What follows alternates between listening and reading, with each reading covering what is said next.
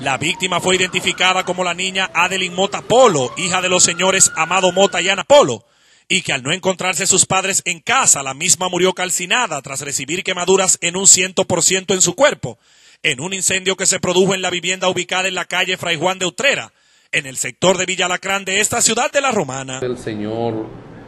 eh, Amado Mota, quien se encontraba trabajando según los reportes que tenemos,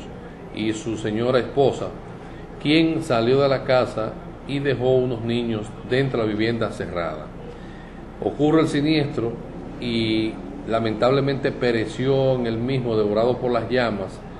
eh, una menor. La vivienda donde ocurrió el siniestro estaba construida de block y zinc, por lo que fue reducida a cenizas, y hasta el momento las autoridades desconocen el origen de la tragedia, toda vez de que dentro de la vivienda había otro menor, el cual resultó ileso. No se sabe realmente eh, la causa que pudo haber originado este siniestro, dado el, hermetismo reinante, el trauma, porque hay otro niño envuelto en la tragedia que resultó ileso, pero la señora no ha sido posible eh, eh, interrogarla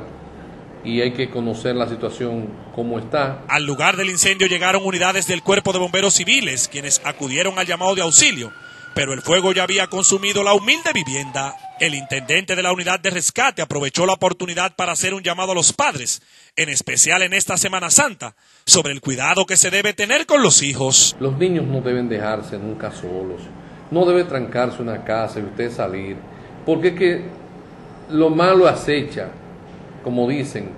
y entonces tenemos este tipo de, de, de salida, de soluciones, de nefastas totalmente, trágicas. En un reporte especial desde la ciudad de La Romana, en cámaras, Esteban Paulino, para Telenoticias, Odalis Vega.